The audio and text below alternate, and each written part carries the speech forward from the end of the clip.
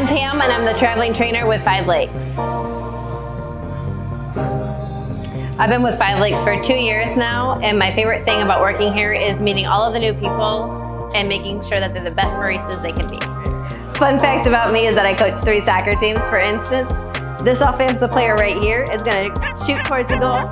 The goalie may deflect it and the offensive player is going to be right there to shoot it into the goal. My favorite hobby is to go golfing on Tuesday nights with my husband.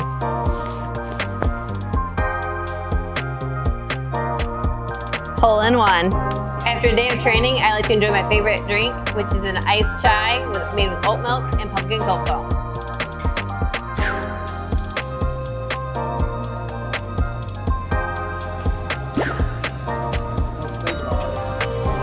Yum.